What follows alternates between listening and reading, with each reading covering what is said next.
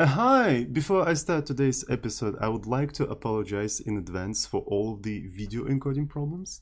Uh, because of the nature of what I'm about to do, there is a lot of small moving objects on the screen, which completely ruins the encoding. Uh, I think Tom Scott can explain better than me, so uh, I'll uh, put the link to his video on the topic in the description. Uh, so I I couldn't solve the problem. no matter how much bitrate I would throw at it, it still persists.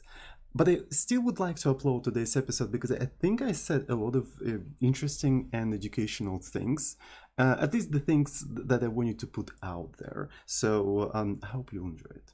Hello everyone and welcome to yet another recreation programming session with Azozin. So today we continue working on Musializer, which is music visualizer we started to work some time ago. And it's a it's a classical visualizer for, for music, right? Essentially what it does it uh, analyzes the uh, frequency of the sound wave and does the FFT on that uh, on that sound wave and just like displays each individual frequency. Uh, it works. It works quite well. Uh, nothing particularly special. People done something like that uh, many times um, in the past, right? So this is nothing new. Right, but I decided to implement that anyway because uh, I never implemented that. And how you're supposed to learn things if you just don't implement them because somebody already done that. Right, so somebody done a lot of different things. So does that mean that you never have to learn these things? No, it doesn't make any sense to me. So, uh, right, so it works well. It works well, but from the uh, from the visual, from the artistic point of view, it kind of sucks honestly. Right. So from the technical point of view, uh, we know that the math and everything like works correctly uh, and everything's fine, but visually, it's not that interesting to look at. It's not even that pleasant to look at. Look at this green, it's just like, it sucks. It straight up sucks. Uh, we need to fix that. Uh, so the, the first problem that I would like to address today uh, is basically the visualization being so glitchy and jittery. Uh, in case of a chiptune, it, it's fine, right, because it's a, it's a fast, fast-paced chiptune, so it kind of suits uh, this particular style of music. But if we take something uh, less fast-paced, for example, I have this uh, music from Pilot Red Sun, uh, right, so it, doesn't really suit it that well, right? As you can see, it just like jumps around and jitters and stuff like that, and it's just like something's flickering here, um, right? So I don't really like how it looks like. So, and essentially, uh, this is because on each individual frame, we're showing the immediate values of the frequencies. So essentially, we have this sort of like a ring buffer uh, of samples of the sound, and uh, periodically we get new samples and we sort of push them into that buffer and then on each frame we do an FFT on that entire thing and we just immediately display whatever we got from FFT and that is it.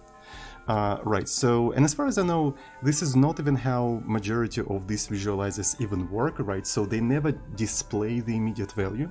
What they do, they basically keep track of the values from the previous frame and the current frame, and they sort of try to interpolate smoothly between these things, uh, which results is in less jittering, and it just actually looks very smooth and nice and stuff like that. And this is something that we may try to do as well uh, right as the first step in improving um, you know the visualization. I already done that uh, on a stream but unfortunately I screwed up with, the sound so um, I was actually right, um, keeping my headphones too close to, to the microphone which resulted in a in this thing being like not particularly watchable in my opinion. Uh, right, so uh, this time I fixed that mistake, but I still want to walk through the process because I think it's pretty important to document it. So let's go ahead and do that. It's actually not, not, not a big deal, right? So it's super easy to do. Um, right, so let's go to the plug, let's see. And here we have uh, several buffers that we work with, right? So for example, we have two input buffers and two output buffers. Uh, so the input row is literally contains literally samples that we receive periodically from the um, from the, the callback, uh, which is called by the music subsystem, by the sound subsystem uh, periodically, right? So periodically we receive some frames and we just like put them into this buffer. So then uh, we have in windowed buffer, and essentially what, what it is, it's just like we take the raw input and we multiply them by this Hann value, which is basically the, the Hann window function. For more information what it is, I recommend watching the previous episode where we discussed all of that. Uh, the All of the episodes are going to be in the description in the form of a playlist and stuff like that.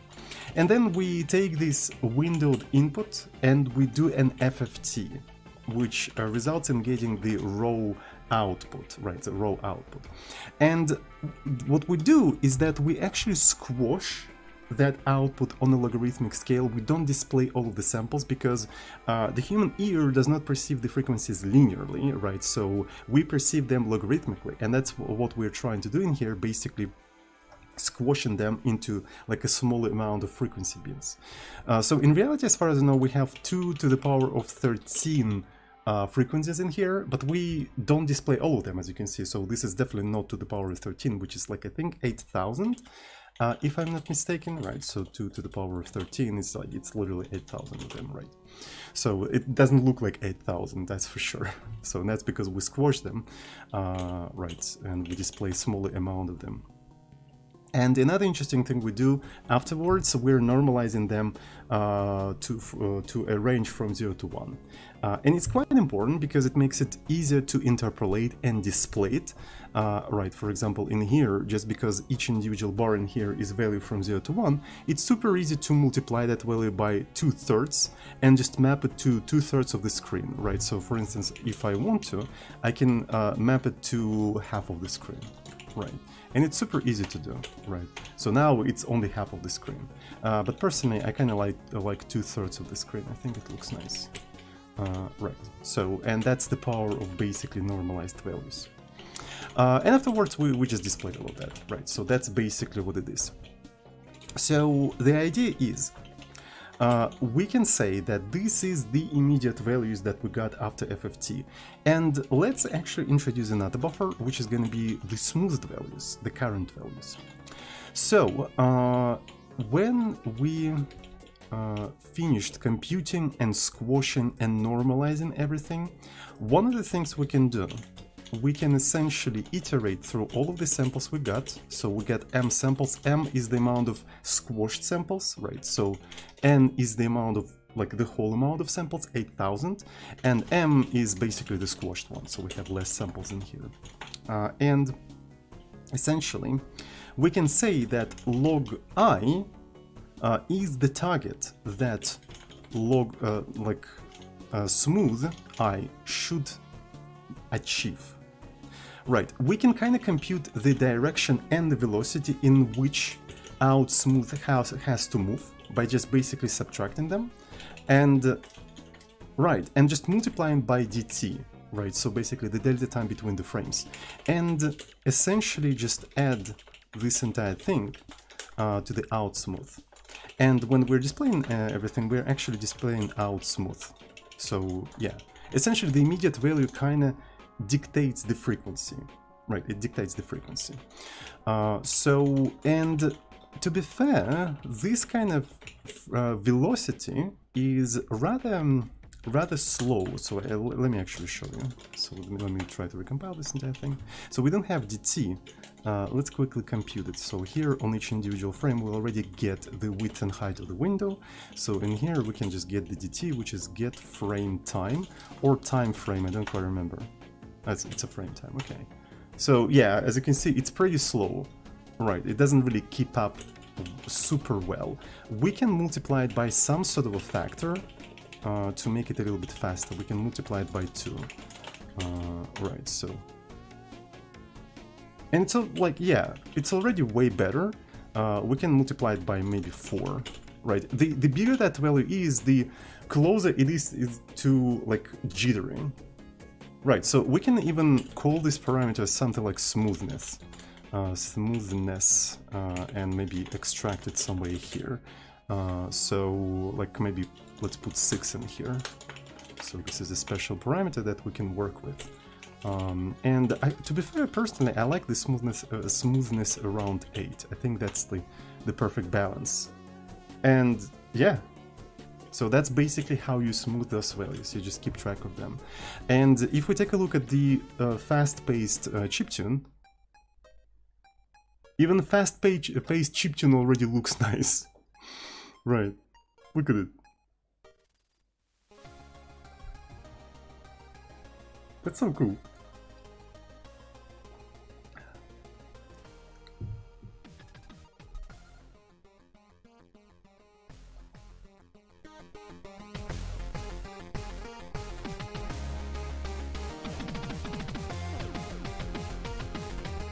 All right, so uh, I don't really like these sort of like gaps between the uh, bars. Uh, I think it's super easy to get rid of them uh, if we um, essentially take the cell width, right? So cell width didn't really divide properly by m, right? So essentially we take the uh, size of the window and we divide it by the amount of like squashed samples that we have in here, but it didn't divide evenly, so uh, that's what results in these sort of gaps.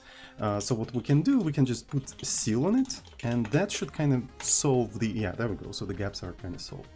Uh, Alright, so I really like how it looks like so let's go back to a little bit like a slower paced music, right? So as much as I like nu11's songs, like I absolutely love them, I, am a huge fan of, of nu11's work. Uh, unfortunately, when, you're trying to visualize chiptune, chiptune has a lot of uh, harmonics, as you can see in here. And th this is because in chiptune you primarily use uh, square waves, right, and sawtooth waves and stuff like that, and they result in a lot of harmonics. And because of that, when you're trying to do FFT visualization on them, they're just like turn into like a white noise, and it just like so like upsets me so much because I'm a huge fan of chiptune, but using FFT is just so hard to like visualize, and you know get, get up like a give a proper treatment to this music. Uh, so maybe like using FFT for visualizing chiptune is just not a great idea, and you need to visualize chiptune completely differently. Uh, maybe just on the level of like individual nodes, right? Because like a pure FFT results in um, in too many harmonics.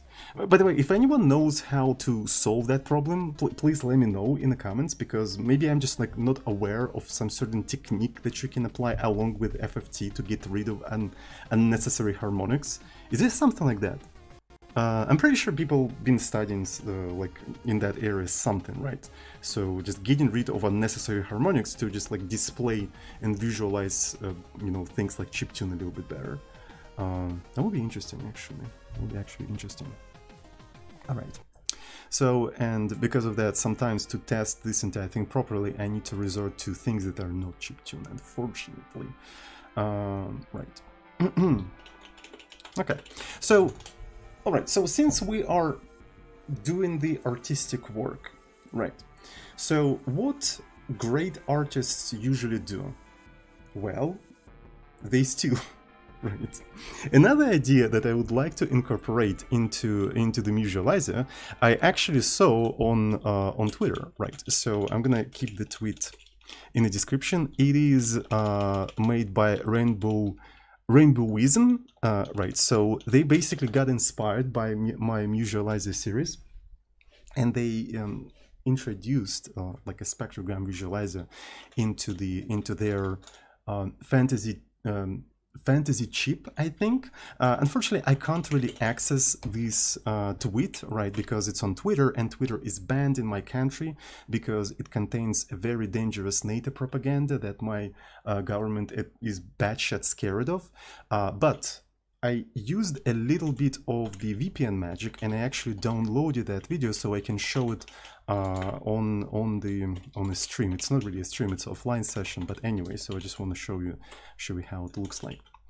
Uh, right. So let me make it a little bit smaller. So this is how it looks like. So this is how dangerous NATO propaganda looks like.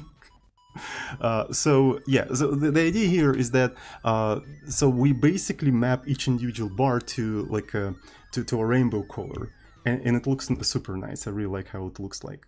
Uh, so and as an artist, I'm going to steal that. Right. Thank you very much. Uh, thank you very much. So. and that answers the questions whether uh, whether AI art is actually a real art. So you need to answer the question, is that a theft? If that's a theft, that's art. I'm joking.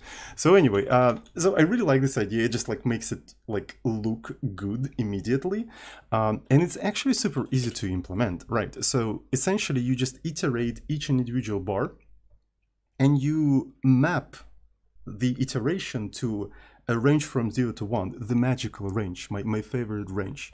And then you use that range as a hue in a, a color in a color space of HSV, right? So hue saturation value.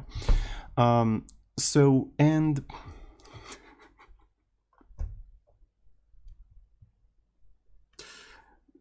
that one, yes, of course. uh, hue saturation value. Uh, why is it in Russian? Can, can you just like give me? Thank you very much. Uh, so and um, essentially that color representation is actually very cool. I really like this color representation uh, because for human beings it is easier to reason about uh, the colors in terms of HSL and HSV rather than in RGB right? Because here we have hue, which is the base color, right? The base color. Saturation is basically the amount of that color, like how much of that color we have. And lightness is basically how bright or dark it is. And this is a very easy way for human brain to reason about the color. Like we think about, okay, here is the base color, and then tweaking the saturation and lightness, I get the sort of like uh, the right flavor of that color for my particular situation. As with RGB, it's kind of difficult to do this kind of stuff. So you constantly need to remember like uh, what's the color of a uh, mix of red and green is it yellow yeah it is yellow and if more than that it's just like it's too difficult for human brain so but rgb is really great for storing the color in computers so i always say that rgb is for computers and HSL and HSV and stuff like that is for humans, right? So, and uh, because of that, it is super easy to map this sort of like a width space to a hue color space and just get this rainbowish effect like very very easily. So let's go ahead and try to do that. Uh, should be pretty straightforward. The music is too loud yet again. Um, keeping the right volume of the music is probably the hardest part of this series, right? because quite often I'm I may get zoned out and come like crank up the music too high and completely forget about it and ruin the entire audio. It's just like so frustrating. I'm, I'm sorry. Anyway, so essentially here uh, we're iterating from I to M and uh, it should be very easy to just say, okay, the hue is going to be equal to I divided by M and there we go. So as far as I know, in in Raylib there is a thing that converts um, you know uh, HSV to RGB, and maybe what we can do, we can use Coogle to actually find that. Can I can I do that? So where is my Coogle? Uh, so it's probably somewhere here. Yeah, here's the Coogle. And first thing I have to provide, I have to provide the path to Raylib, which is located somewhere here. So uh, Ray raylib. Yeah, there we go. And the thing, I know that the thing is supposed to return color, and it accepts like three floats. Uh, will it be able to find that? We should be able to find that. Um, so, could not open file. Oh, yeah, I'm, I'm really sorry. Just a second, because I had experimentation with Coogle. So, let me quickly. I need to recompile my Coogle. So, there we go. Should be fine. Mm -hmm. And let's go back and I'm gonna do that one more time. And uh, there we go. So the first yeah there we go. Color from HSV instantly found instantly. That's why I developed Coogle right? So I can quickly I, I, don't remember the name of this entire thing right? I don't remember but I do remember this signature. I, I, how can I yeah. I remember this signature. I know that it accepts three floats hue saturation value and returns the color uh, right, so and that's what I said to the to the search tool, and it gave me like a color from HSV. So it, it's very useful for this sort of like a fuzzy, uh, fuzzy stuff, right? So here it is, and I just can grab this entire thing. And yeah, there we go. Already using the tools that I created. Uh, so this is the color, uh, here's the hue, and in terms of saturation, I don't know. Uh, let's actually bring them to separate parameters. Value is not necessarily equal to brightness, to be fair. I don't really remember what is value. Uh, so let's just keep them like this. And instead of green, instead of green, we're gonna be using the color. So let's uh, let's recompile this entire stuff. I have to go back. Uh, where is the build?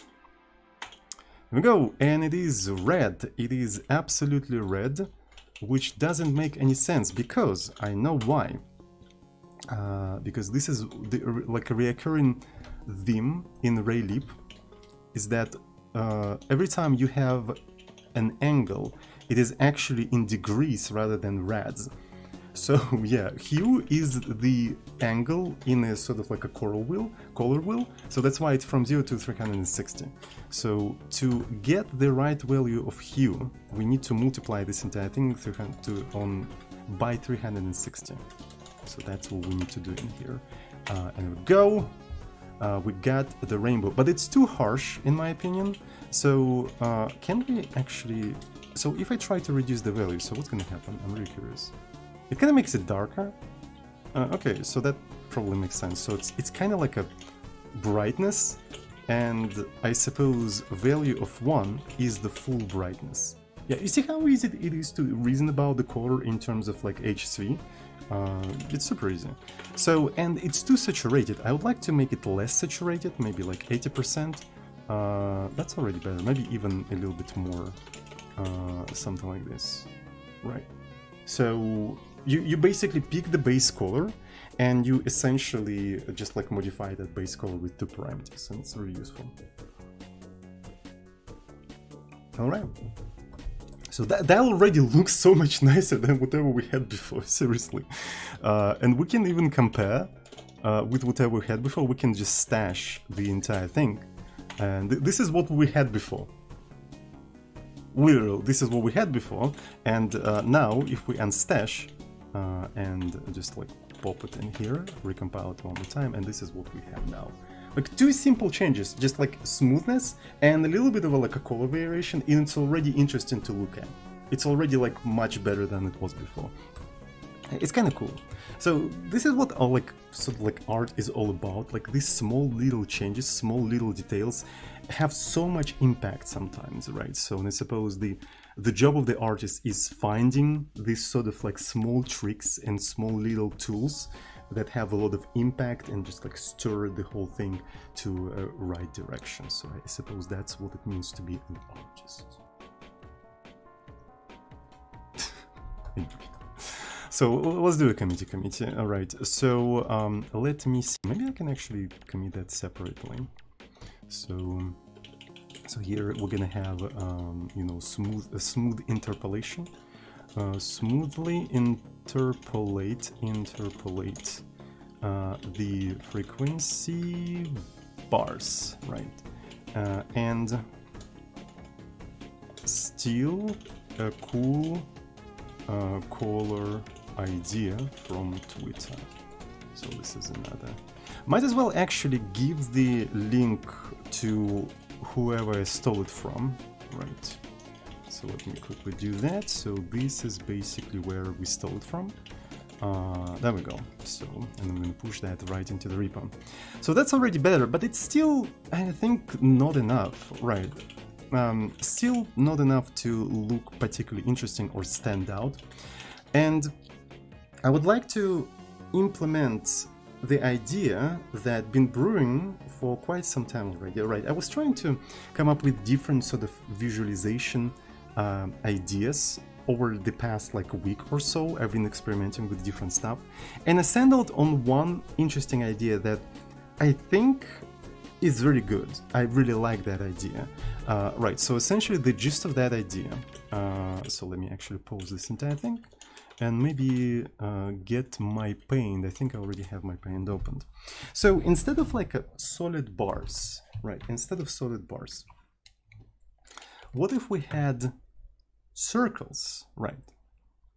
We had circles on different heights. Uh, I already tried to do something like that, and it doesn't really work that well because the discrepancies between different frequencies might be huge right?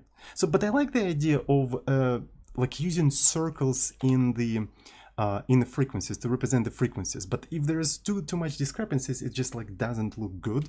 In fact, I can probably show you that, right? I can probably show you that because I know the precise sort of like location and height of the bar, uh, which I can use to actually find the center of the circle. I can just literally render that circle.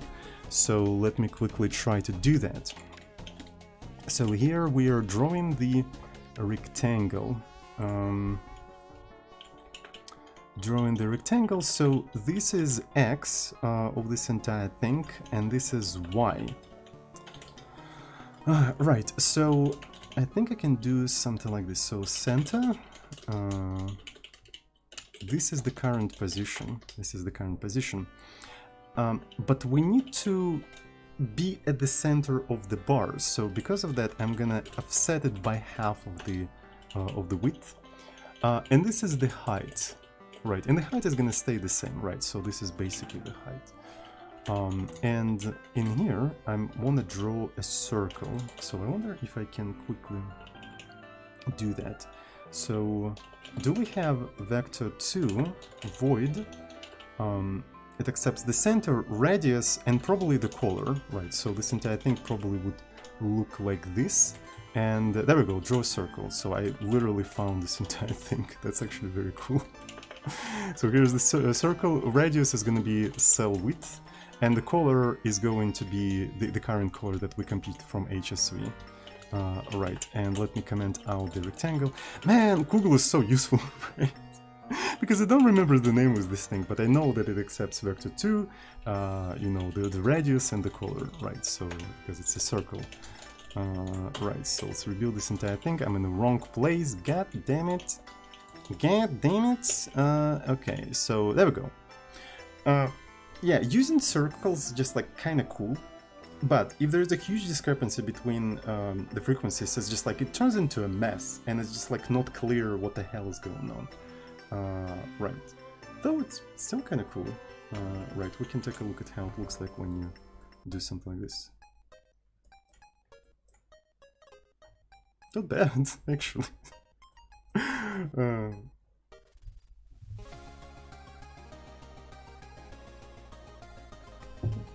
so, the way I uh, want to resolve that is basically uh, put them on a stick. Right. So that way, they combine the best of both worlds, right? Uh, using circles, because I think using circles is just like visually appealing. It's such like a perfect object, and there's a lot of them, so it feels like a lot of particles and stuff like that. It just like stimulates your brain. I really like that. Uh, and uh, with sort of like them being on a stick, creates this sort of feeling of these frequency bars, of these equalizer frequency bars. Uh, so it kind of like combines the best of both worlds, right? It's not really a bar anymore, but uh, you still can feel the height of it. Um, so we can go ahead and try to do that. If I remember correctly, um, Raylib literally has a function for rendering the, the lines, uh, so let's actually try to find that. It probably accepts two vectors, excuse me. Um, so let me see, uh, I have to go somewhere here. Uh, draw line. There we go. so, so easy to find. Uh, okay, so this is the start position, uh, end position, and the color. So we know the color. Uh, we know the start position, which is the center. We, we can actually rename center to the start position. Start position. There we go. I, I wonder if you can see everything. So let's actually put it in here. Yeah, there we go. I think that's a little bit better. Yeah, so the, the code is in here. Uh, right. Excuse me uh, and the visualization here. So it's quite important for you to uh, see the, the full the full line. Uh, in the end position, I suppose, in terms of x, it's literally the same. In terms of x, it's literally the same, but in terms of height, it's at the bottom, so which means it's just like h. So uh, that's basically it. I can't see Scheiße in this mist. There we go.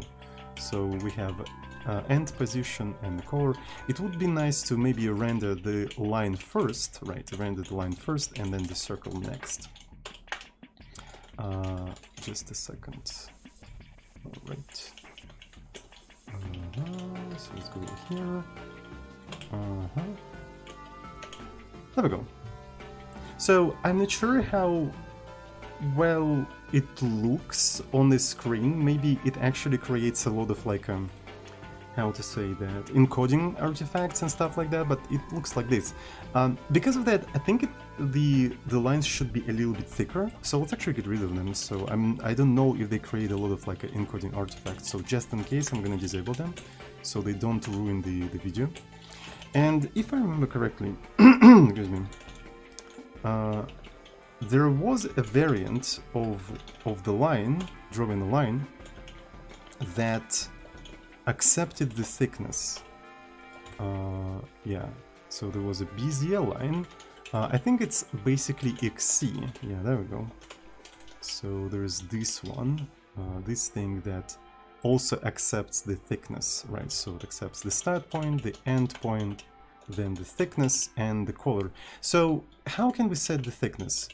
We can set the thickness literally to cell width, which will result in a very thick line I think it's gonna be the thickness of the entire um yeah of the entire bar. Actually no. But maybe I, I don't really know so let me actually see. Um, so so it doesn't like something. Uh semicolon of course. Yeah it's too thick.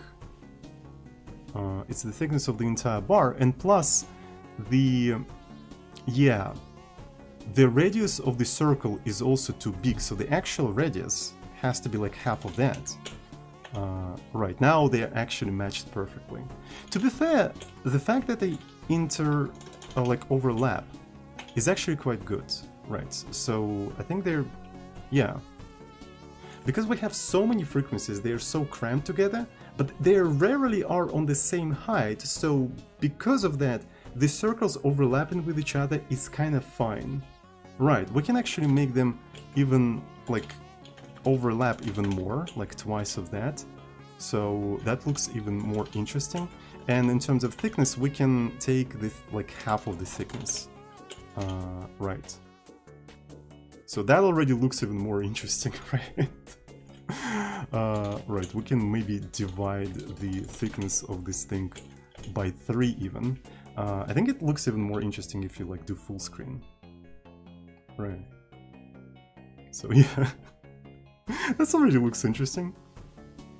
So, um, but I think the radius is actually too huge, right? So if I make it a little bit smaller, uh, right, did it did it actually decrease it? Ah, I, I did the wrong thing. So it's supposed to be like three, um, and this one has to be like this. Uh, there we go. So interestingly, maybe uh, it makes sense to factor out those parameters like so. We're gonna have float, uh, and this is gonna be thickness, which depends on the cell width, and uh, then we're gonna have a radius, which also depends on the cell width. It's literally cell width. So in that way we know what kind of parameters we are modifying. Right. So we know that the thickness is the third of the cell width, but the radius is the full thing in here.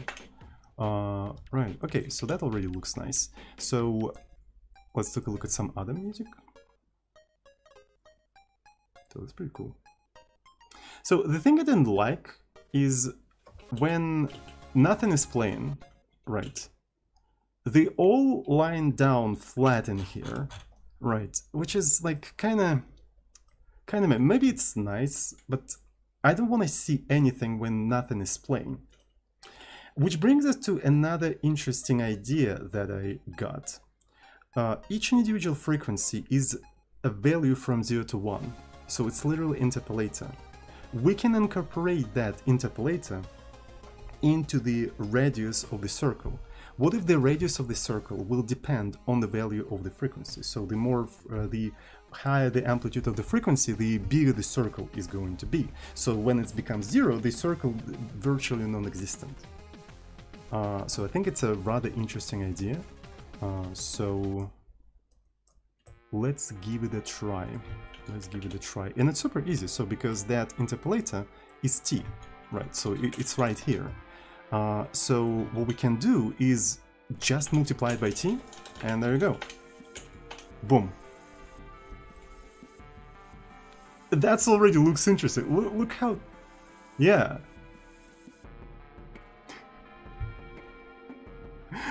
so that's so cool. Uh, we can do the same thing, actually, with the thickness. We can just multiply it by t, like so. Boom.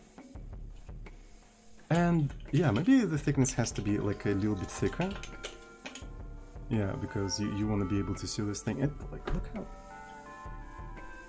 Yeah, so there's so many things already going on. It's it's like really stimulating for your brain. Um, right.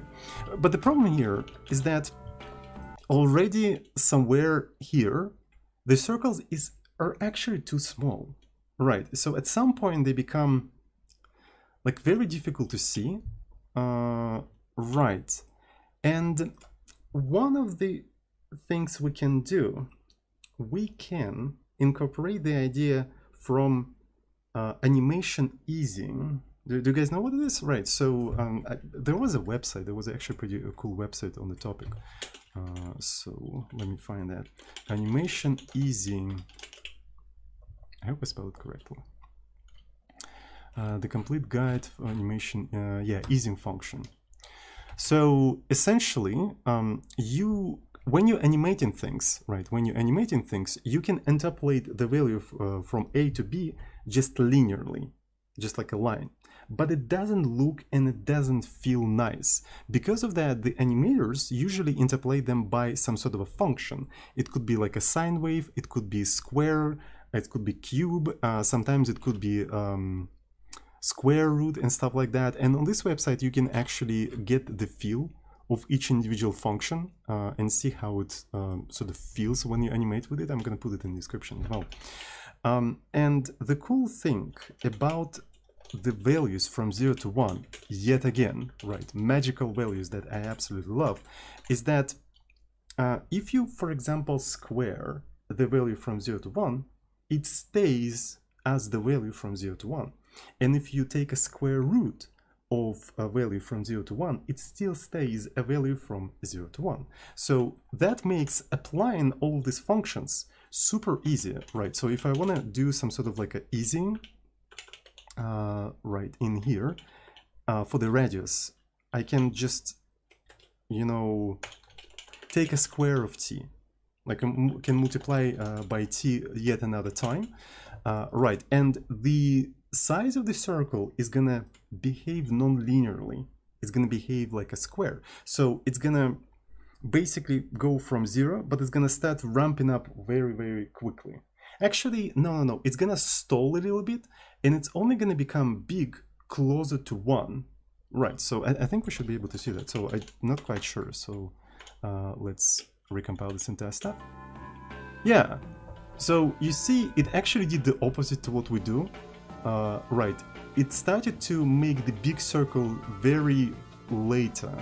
We want to make them bigger a little bit earlier. Uh, right, and the way we can achieve that is by probably using sort of like an opposite function, which is the square root. So it becomes, um, it makes more sense if you kind of visualize them, if you can just draw them. So you have the axis, right, and you have one in here and one in here. Uh, so this is sort of like the intersect intersection and that's what it is. So here's how a linear function looks like. It just goes like this. Uh, square looks like this. And square root looks like this. So if instead of using the linear function, we use square, it's gonna the circle is gonna stay very small for a long enough time until it ramps up very quickly and becomes full. So if we're gonna use a square root, it's gonna ramp up to be big as soon as possible, and then it's gonna like stall being big until the full end. And this is roughly what we want, right? So because the thing I don't like about this visualization is that um, they become big too late, right? So I want to see circles like around here. We still can see them, but it's just like, yeah, they, they should become fuller a little bit earlier. And here it is kind of too late. Uh, so what we can do now, uh, it should be really straightforward. It should be really straightforward. It's kind of similar idea as in animation, uh, when you want to ease out some things. So let's just do a square root of this entire thing and a boom uh, and see. Yeah, that looks much better. Look at that. Look especially at this thing. Yeah, so that's exactly what I want. There's still their size. Their size still depends heavily on, um, you know, on the um, on the actual value, right? So, but they become bigger much earlier, much earlier. So, and it just like looks nice. Um, so I really like that. We can do the same thing with thickness, by the way. Who said we cannot do that? Uh, because uh, quite often we have situations like this when the thickness is just like too small. Uh, right, so it doesn't really look that nice. So let's go ahead and put square root here as well. Uh, there we go. So that looks a little bit nicer now. Uh, I'm not sure how it plays out with the with the encoding and stuff like that, but I hope it, it, it works nice. Uh, so we can make the radius, we can even multiply the radius maybe by half. So maybe that's what we want to have in here. So they're now even bigger. Um, so yeah, that's pretty cool. So another problem that I have in here is that there's no anti-aliasing, which, which kind of sucks. Mm, there is a way to enable anti-aliasing for Raylib, but that requires restarting the application which is fine, I guess. Um, which is totally fine. So in Raylib, there is a flag that enables multi-sampling anti-aliasing. Right, there we go. So it's a flag MSA A for X hint. Uh, and you have to do that right before you initialize Raylib. So let me find this entire thing and where is the main initializer? So we have to put it somewhere here, but I don't remember the function that we have to call in here. So I know that it accepts config flags. So let me quickly use Coogle. Yeah, let's actually go ahead and use Coogle. Uh, so I'm gonna do Coogle. So we know that this function accepts config flags. It's probably not going to return anything. So is there a function like that? So there's a... Oh, that's very interesting. I swear to God, if this function actually accepts integer instead of in, instead of config flag or something like that. Raysan, why? Why would you do something like that? Like, I swear to God if it is the case. Uh, just a second. I need to add Coogle to path. Um, is there something like... Okay, I'm gonna try to do config. Maybe there's something like config. Um, -huh. Maybe it's something like set config. Yeah, it's set config flags. Okay, like why? You have the type for the config flags. Why don't you use that type in the signature of the function to indicate, to sort of like for documentation purposes, to document like where things go? Like why? What's the point of introducing that enumeration then? I'm disappointed. anyway, so what we have to do is uh, something like this. Something like this. Uh, let's go ahead and do that. Um, let me recompile the entire stuff. Let me the entire stuff.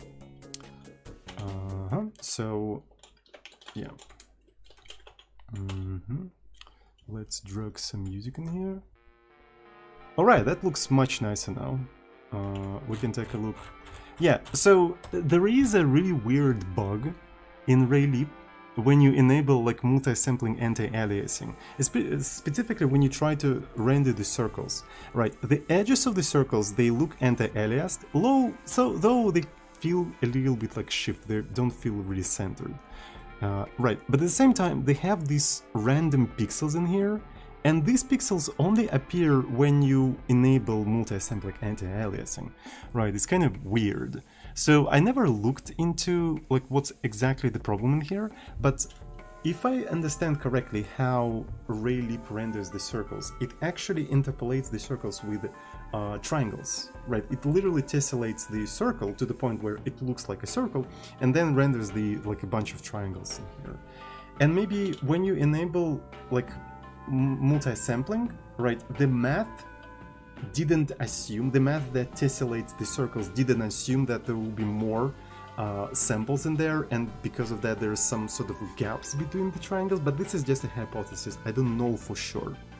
Uh, I don't know exactly what's going on inside of the Raylib but to be fair we don't really have to use the stock function uh, to render circles in Raylib we can render them use, uh, ourselves uh, using shaders right so essentially we can instead of rendering the circle we can literally render a texture and then we can create a custom shader which basically checks whether a particular fragment uh, that we're rendering is inside of a circle or outside of the circle and basically uh, renders that fragment or not renders that fragment. And fragment in this particular uh, case means like pixel. So it's super easy to render perfect circles inside of the shader. Uh, and that's what we can try to do. That's what we can try to do. Uh, right, but I want to try to do that after a small break because I've been coding for 45 minutes, right? So I really need to make a small break, uh, refill my tea and stuff like that. And after the break, we're going to continue and we're going to create a custom shader that uh, renders the circles perfectly without any uh, Raylib artifacts and stuff like that. And here is an interesting thing. Once you have shaders, right, you can do pretty cool stuff Right, we can even apply some sort of like a special effects uh, in the shaders, right? So yeah, I think it's gonna be interesting. So let's make a small break, and after the break, uh, we're gonna do all that. Um, all right, let's make some shaders, shall we? So first thing we need to do, we need to actually uh, render rectangles instead of, instead of circles, right? So because we're going to be writing a GPU program that uh, is executed on each individual excuse me on each individual pixel of that rectangle and that shader program is going to decide whether that uh, pixel is going to be included in the circle or excluded right? So essentially this shader is going to carve out a circle out of the rectangle right?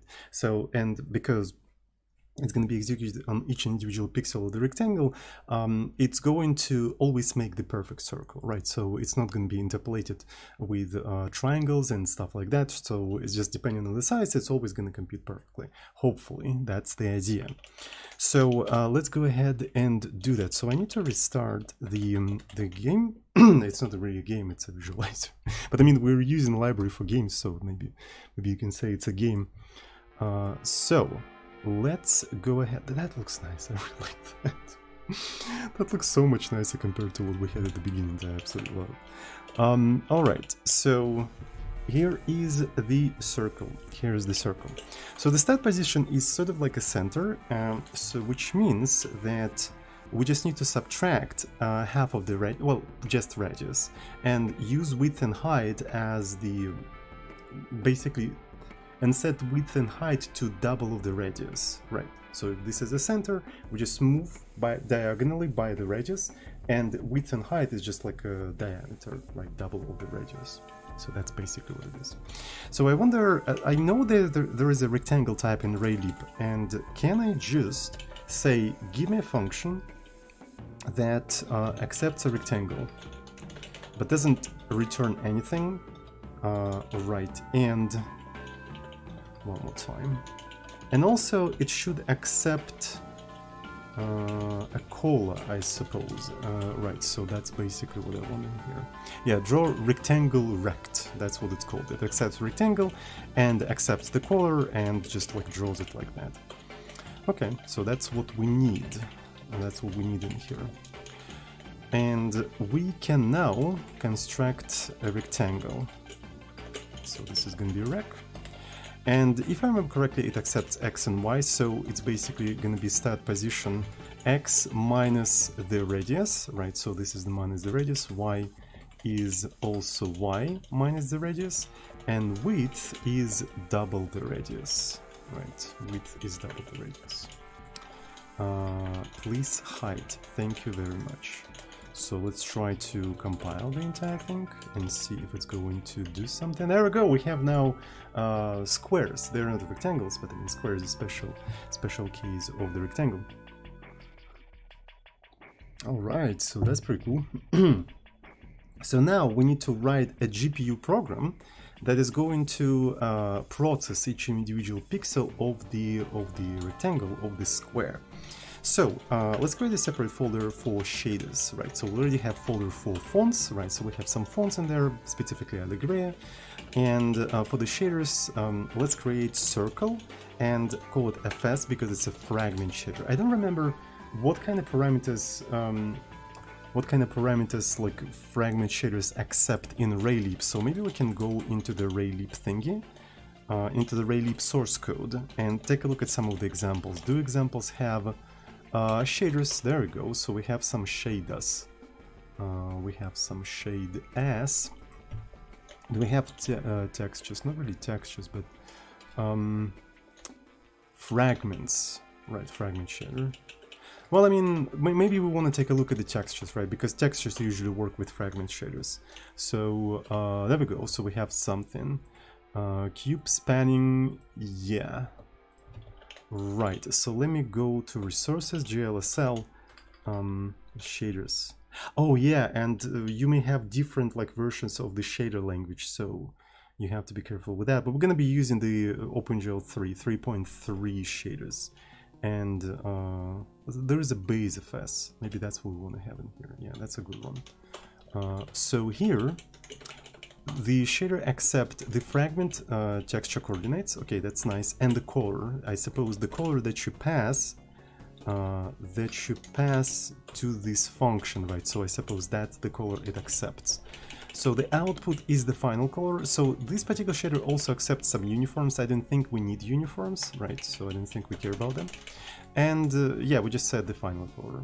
Okay, so that, that looks nice. So I can just go to the circle and just copy paste this entire thing in here. Uh, I don't care about that. Add your custom variables in here, thank you very much. And as the final color, let's set something like color uh, red. Right, so this is going to be color red. Uh, and let's go ahead and uh, load the shader. This requires changing the schema of the state of the plugin, right? So that means to add shaders in here, we'll have to restart the application. We, we can't really hot reload that entire stuff. Right, so let's go ahead and, and close it. Uh, right, and let's do shader, uh, shader, let's call it circle. And when we initialize the plugin, so as you can see here, uh, we are uh, loading the font, and on top of loading the font, we need to load the shader. Uh, so it's going to be circle, load shader. If I remember correctly, uh, load shader. Um, so first argument is the vertex shader, and the second one is the fragment shader. We don't really have a vertex shader. Uh, we want to use the default one. And as far as I know, this function just allows you to do null, uh, right? And the only thing you have to provide is the path to the to the fragment shader. So this is the circle and everything is fine in here. So I want to be able to hot reload the shaders as well, right?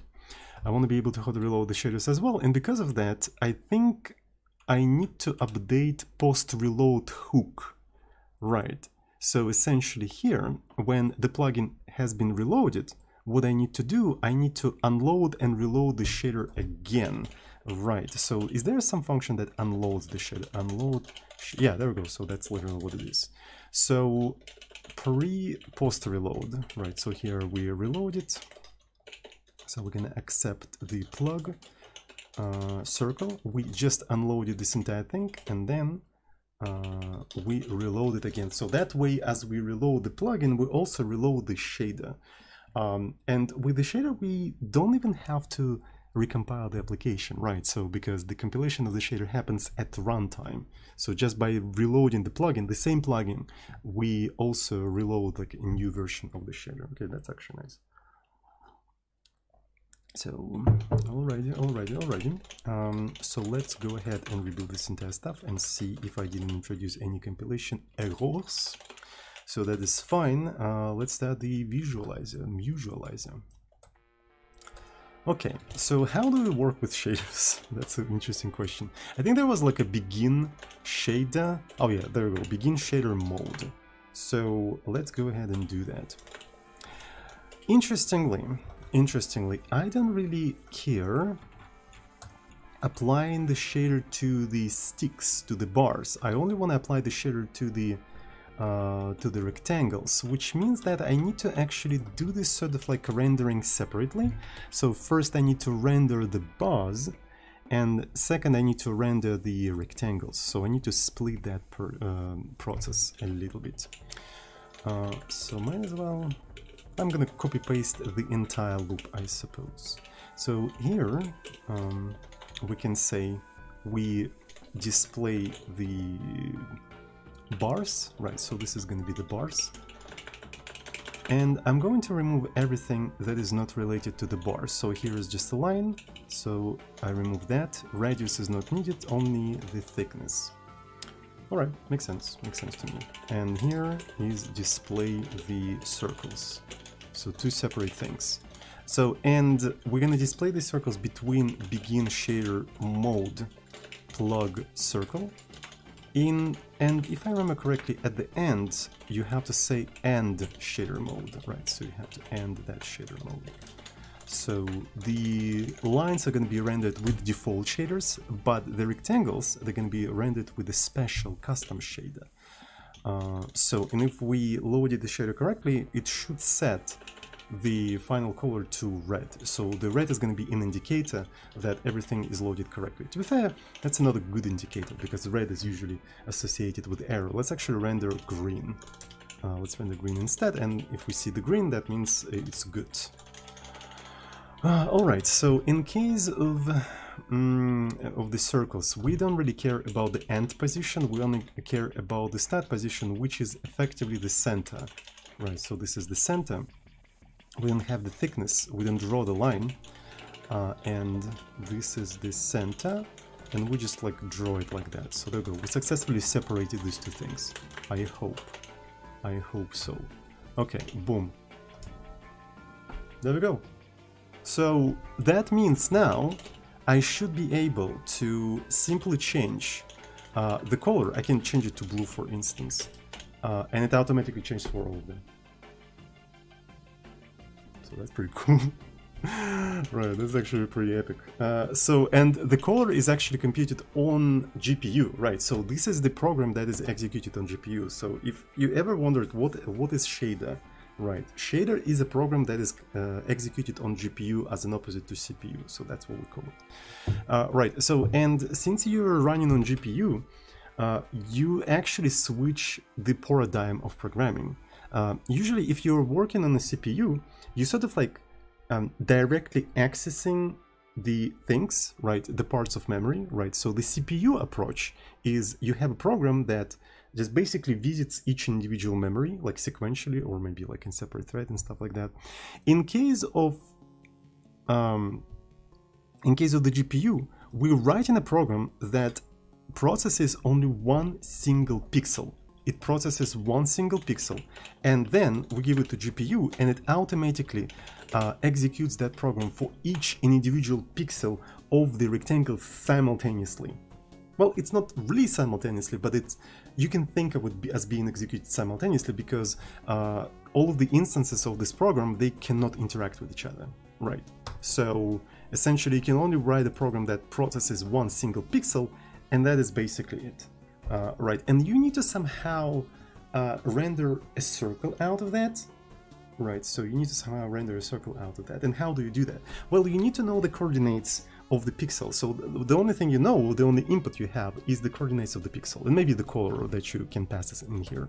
Uh, we can actually just uh, actually forward that color like so. And I suppose we yeah, there we go. So we basically forward the color uh, that we get from from here, from CPU, right? So it back to being as it was. So since you only have the color that you got from the CPU and also the coordinates of the uh, of the texture, what you can do, you can essentially, knowing the center of the circle that you're rendering, you can check, is the current coordinate within the circle or uh, outside of the circle? If it's within the circle, you set the color to the color. If it's outside, you set the color, color to transparent, right? So you basically don't set anything. And this is how you basically draw the circle with this like a different paradigm, right? So you're not directly drawing the circle. Uh, you basically check whether a particular pixel is within the circle or not, and that's how the circle automatically is drawn out for you. So that's how it works essentially. So here we have a texture coordinates, and I suppose it's a two-dimensional thing, and texture coordinates, right, uh, they are normalized in the sense that x is gonna be uh, from 0 to 1, right? So this one doesn't really work. Uh, is it is this GLSL? It's kind of weird. Uh, yeah, there we go. So let's actually do something like this. I want to sort of like decompose them so it's a little bit easier for us to work with that. Right, so all of them are from 0 to 1. And to check that this is true, let's actually set the color like so. Uh, we're gonna set red to X, Y, uh, green to Y, and we're not going to set the blue and we're going to set the alpha to 1. So essentially x coordinate is going to be responsible for red and y coordinate is responsible for green. So and on the right top corner we're going to have yellow. So it's going to result in this very interesting gradient of three colors uh, red green and yellow which looks like a mango. I usually call it UV mango Right. So it's a usual test that the graphics programmers do to check whether their like um, texture coordinates are correct or not. They're drawing the UV mango. Uh, so if we manage to see UV mango, uh, that means everything is correct. And if we don't, that means something is incorrect. Well, something is incorrect. I wonder if I can find uh, like an example. Uh, if I Google UV mango, will I find? Uh, something. UV okay. UV uh, shaders. Uh, and let's do Google? Mm, simple mango UV quad is wrong. Yeah. Mango in quotation marks. Uh, yeah this is how it's supposed to look like. So this is UV mango so essentially, in the uh, left top corner, uh, left bottom corner, you have to have black. Here you have to have uh, yellow, green, um, red and green. Um, so, and we don't see that. So we're supposed to see a little mango in each individual square, but we don't. So something is wrong in here, and I think I, I know what. So essentially, the fragment shaders in Raylib work properly only if you use them for textures. Right, so when you do them on shapes, then they don't really work properly. I think it doesn't pass the texture coordinates correctly. Uh, so, and to pass texture coordinates correctly, you need, you really, literally need to pass a texture there.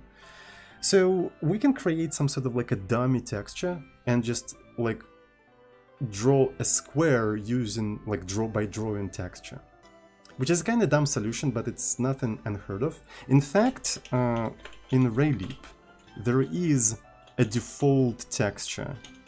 Uh, yeah, default texture. Wait, default. Yeah. So essentially, one default texture 2D is loaded, uh, which is basically one by one white pixel. Right. So, and it is one by one white pixel precisely for this kind of situation, right? So when you just need to draw like like a texture, but you don't care about the texture, right? So the the the, the whole texture is going to be computed in the in the shader itself, right? So you need some sort of a placeholder. Um, so, but if I remember correctly, it is not available that easily from like a Raylib. You you cannot have default texture. Yeah, you can't have that. So you literally have to like construct it from scratch. So Oh boy, Raylib. Um, okay, so let me find. I'm gonna try to grab default texture. Um, I think it's also texture default or something. Uh, Alright, so texture. Mm -hmm. Mm -mm oh yeah, here it is. So uh, yeah, you can only get its OpenGL ID uh, RL get texture ID default, but what, what we actually need in here, what we actually need is texture 2D. right? So we need the texture 2D. So essentially you have to construct this entire thing yourself. So you have to set the ID to the default texture, uh, width and height to one, um, and maps. I don't really know what you have to set these to, but we can try to search for how this particular function is used right? So is it used anywhere within the source code of Raylib? Uh, right. So, oh yeah, there we go. So look at that. Uh, just a second. So this is how you construct it. so yeah, if you're not sure how to use a particular function, just grep for that function and see how it is used in the source code, right? Because the usage of the function within the source code is the best documentation. So just like demonstrate you, this is how we're supposed to use this function. And that is supposed to give us the, the texture, the default texture. So maybe it makes sense to save it, oh, maybe not, I don't freaking know. So let's construct that texture on each individual frame every time, I don't think it's that big of a deal. Uh, plug.c and uh, we're gonna put that somewhere here, so this is the texture. So something like this. And uh, let's find some functions that render texture. So can we draw uh, draw texture? Uh, texture. Yeah, but we need to be able to scale the texture. So yeah, so we probably want to use draw texture XC, uh, and we can even pass the uh, the coloring here. That's actually pretty cool. So we're gonna provide the texture. So position I suppose it's gonna be... Um, yeah, position has to be this one. Uh, so let me construct it real quick. So this is gonna be position, uh, and it's simply center x minus radius. So this is gonna be x, this is gonna be y, and this is y. There we go. So this is the position. We're not planning to rotate anything. In terms of scale, this one is interesting. So since it's a one by one, we actually need to scale it yeah we can just scale it by the size that we want and the size that we want is 2 radius right? And the color that we can pass in there is just going to be the color uh, of the thing that we're trying to draw. So let me try to do that now um, so that should probably work. Yeah so if I go the semicolon oh yeah this thing is located somewhere within um, RLGL. So RLGL is basically a wrapper around several versions of OpenGL. I think we can even read the description of what is RLGL. Uh, RLGL. So a multi-OpenGL abstraction layer with an immediate mode style API, right? So essentially, uh, if you feel nostalgic about OpenGL 1.1 immediate API, you can just use this thing and it will work on even even on the latest versions of OpenGL, right? So just like a wrapper around this thing. So it's sort of like cross-platform API. It works across several OpenGL APIs. Which is freaking ironic because, because OpenGL is supposed to be the abstraction layer. So we're putting abstraction layer on top of abstraction layer. Because we have too many abstraction layers. Anyway, uh, software development in 2023, am I right? So, um, so what do we have in here? Rotation, and we're not going to rotate anything, so it's going to be zero. So we have an used rectangle. Um, I'm going to comment it out. So comment it out and bring this thing in here. So maybe we'll go back to this stuff. Maybe not, probably not. Uh, there we go. So now we can see a perfect mango. So yeah, it actually passes the coordinates. So the uh, the black one is a left top, but OpenGL coordinates imply that the black one has to be the bottom one. So it tries to sort of like, uh, eh, that's fine, I think we can work with that, so that's totally fine. Um, so let's go back to the circle.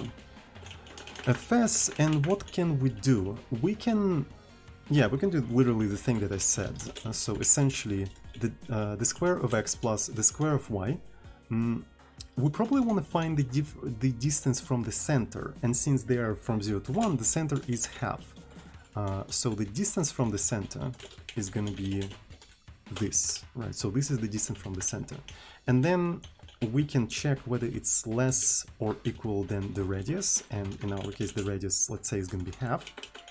Uh, right, and if it is, we set the color of the mango, otherwise we just set to 0.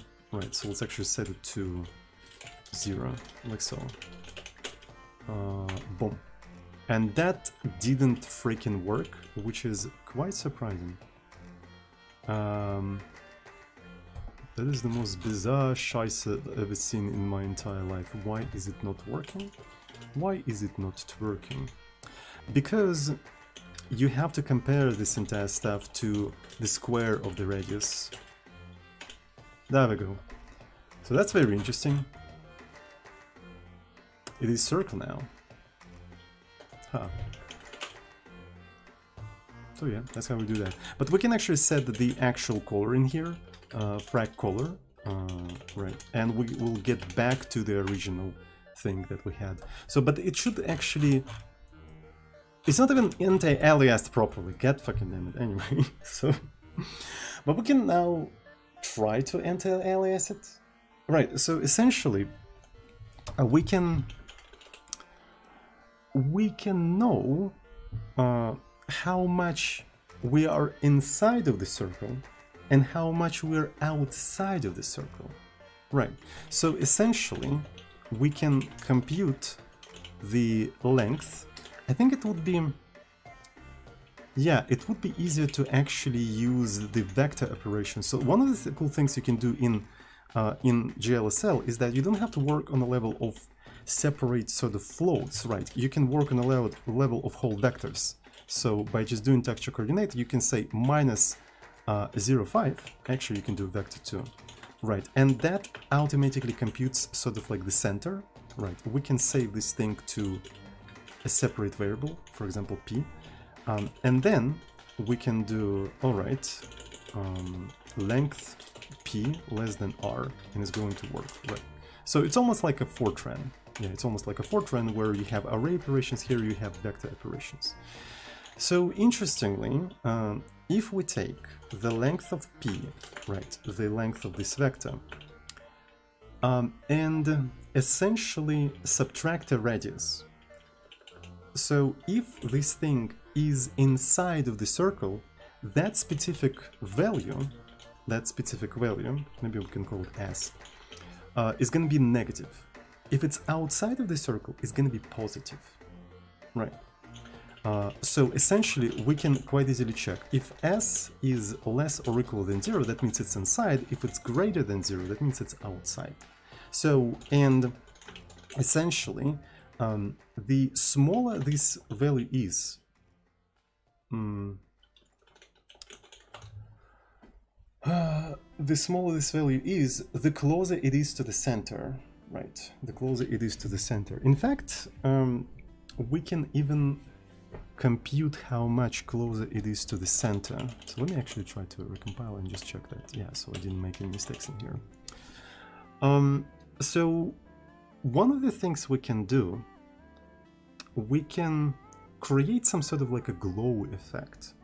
So essentially, um,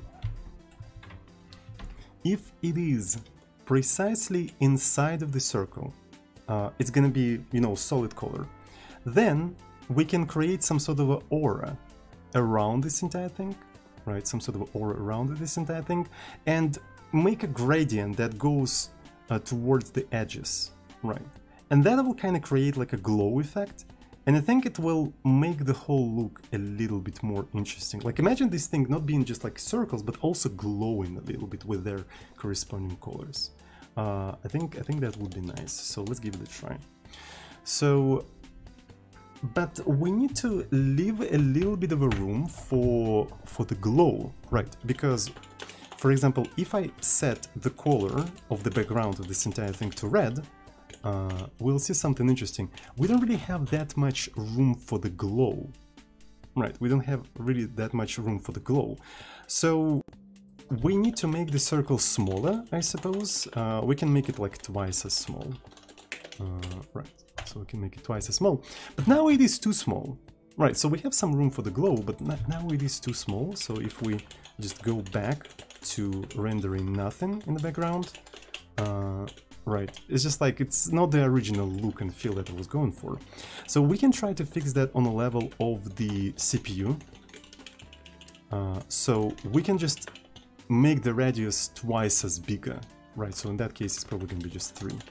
So let's recompile this entire thing and yeah, now it is bigger, now it is as the original uh, thing, but we should be having more space for the glow. Yeah, as you can see, there is much more space for the glow, which is super nice, I really like that. Uh, okay, so what we can do with that space? Let me see. Uh, so it should be it should be here essentially. Um, essentially, essentially, um, we want to normalize that value. We want to normalize that value. Um, what is the maximum possible value for s? What is the maximum possible value for us? We have to really think about that. Uh, so let's actually draw uh, the entire stuff. We have some sort of a circle in here. Right, and we know that on the edges in here, the s is going to be equal to 0, and it's going to become positive outside of this thing, and negative here, but it doesn't matter. Uh, right, so the maximum value we should think is basically half, right, which is sort of the maximum the maximum radius you can have, right, so this is half, so this entire thing, uh, minus the radius of the circle, minus the radius of the circle. And that's the maximum value this thing could be. Um, though we also need to um, cut out these sort of corners, right? So we need to cut out these sort of corners, but they should be relatively easy to cut out. We, we can have like an extra condition. So yeah, Right, we need to cut out these sort of corners and only then consider this to be maximum value of s and once we do that we can do something like this and we get an interpolator which we can use for creating a gradient. So that's basically the idea. That's I think that's a good idea.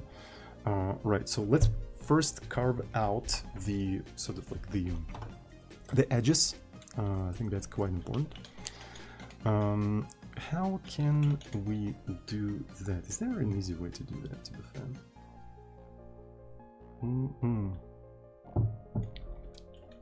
Well, to be fair, it should be basically length p um, less or equal than half of 5. So essentially we have like a outer circle and then inner circle. Uh, right, that's actually quite funny. right, so let's do it like that. Maybe there is an easy way to do that, but I mean, uh, we have a, quite a few branches which may slow down the shader, but we're not trying to be super performant right now. Uh, yeah, there we go. So we cut out the, the outer circle, and within um, the inner circle, we can quite easily do, okay, this is half minus the radius, uh, and we divide s by that value because that's the maximum value, and we have t, which we can straight up use for uh, for alpha because it's from 0 to 1, which now, since we use the color red, is going to be like a red, uh, you know, gradient. Yeah, okay, this one is interesting because because it's growing, right? So we need to do the opposite. That actually looks kind of cool. Lo this looks like a bubble. Wait a second. This is not the look I'm going for, but I think I'm gonna take a note. So to create a bubble, you sort of like invert. Okay. So and if you add additional, um, like um, white circle, you can create like a reflection. It's gonna be a reflective one. That's a very cool one. Uh, and if you make it white, for instance. Huh. Looks like, like, like how it looks like. Uh, okay, so uh, let's make it red again. And we need to invert this gradient, so I suppose uh, we can just do minus one, which will effectively invert it. And yeah, look at that. So it is gradient now. It is a gradient now. Um, so, and now, what if we use the color uh, of the fragment that we pass from the CPU? So fragment color, uh, XYZ, and we're gonna swizzle that a little bit. Uh, they look fuzzy now, look at them. Like they're glowing. They look more like they're fuzzy. And the reason why they look like that, we can actually increase their size. Uh, we can only increase their size from the CPU. So let's make something like 4. Yeah. The reason why they look fuzzy is because the gradient is linear. Yeah. Linear interpolations, they rarely look good. They rarely look natural. Well, I mean, if we, we what we wanted to create is fuzziness, maybe it's fine, but for the glow, it actually let's try different interpolations. We can do the same thing as we did with the sizes with SQRT. We can try to apply SQRT there as well and see how it's gonna go.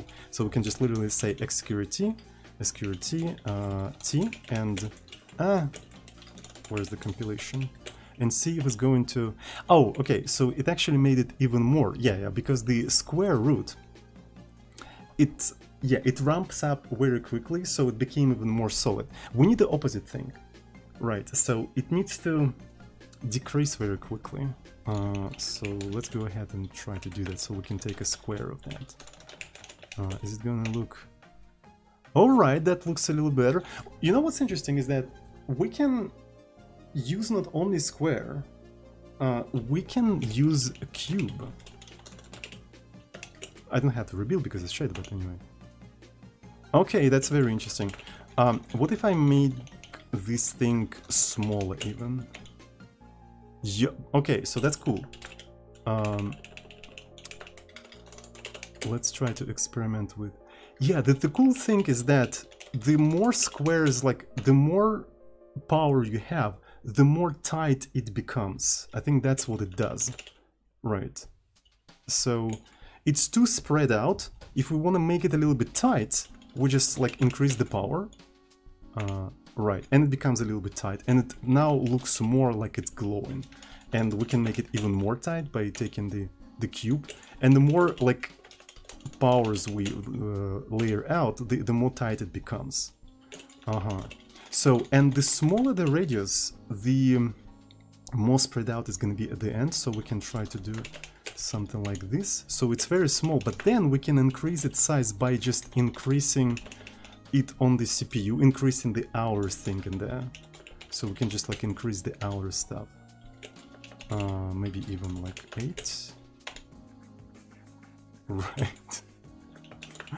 Uh, so I don't know, maybe we can make it a little bit bigger. Alright.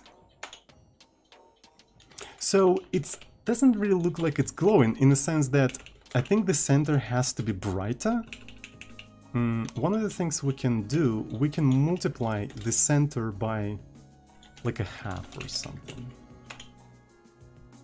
That's not a bad idea, actually. It's not a bad idea. Huh. What if 25? But I think it's a little bit too bright. Uh, so yeah, it's, it's kind of cool. Now, now we can experiment with these things and just see how they go. Oh, that looks nice. So that's so cool. uh, holy shit, that's so nice. I really love it. Um, it's such a simple math, right? It's just like just interpolation and stuff like that. And again, this idea of the normalized values from 0 to 1 they're like this is the most sort of important idea of computer graphics and this is something that i even make a video on right didn't i uh, i have a video like the most important idea in computer graphics uh, i think it was about Olivet's right and uh, yeah so this is something that i discussed there um, right oh my god it's so slow but yeah youtube Tsoding most important idea. I think we should be able to find that. Um, yeah, this one, the most important idea in computer graphics. So, and I talked about that there. I think that idea of this interpolator from 0 to 1 is the most important idea in computer graphics. Uh, because it pops up literally every time I do any computer graphics. Uh, me put it in here. So, daily most important idea in computer graphics. Alright, so uh, this looks cool and all, but this is not the only sort of idea I wanted to apply. Uh, it looks visually interesting already, right? So it creates sort of like an interesting mood, right? It feels like it's night, though I feel like night is not particularly, um, you know, dark enough. So let me take a look at the clear background. So maybe we can try to make it a little bit more dark. Uh, right. I'd like to make it a little bit more. Yeah, okay, so that that's a little bit better. So it's it's night and it's sort of like some, you know, fireflies are glowing and stuff like that. So it looks cool. Creates a really interesting cool. But it's not particularly dynamic enough. Right, it's not particularly dynamic enough. Uh, one of the idea I was playing with is basically for those sort of like fireflies to have some sort of a trail, right, which indicates in which direction they're moving. I think it is it is interesting idea to try to implement, right? So let me. Oh, that's actually cool. It's kind of funny how they they stop, right? So because yeah. uh, right, so they, they reach their final destination just like stopping there. That's that's so cool. Really good.